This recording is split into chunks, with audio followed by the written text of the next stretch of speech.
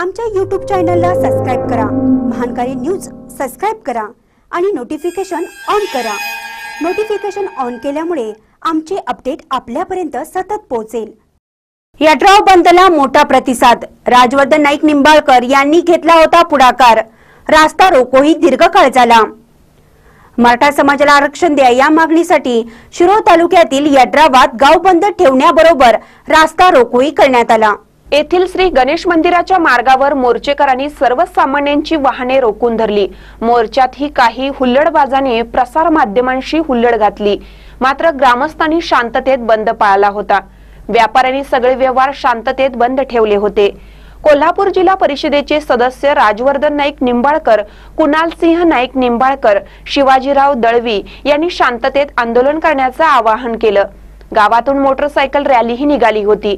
महानकर न्यूजसाठी यड्राहून दत्तात्रय कदम.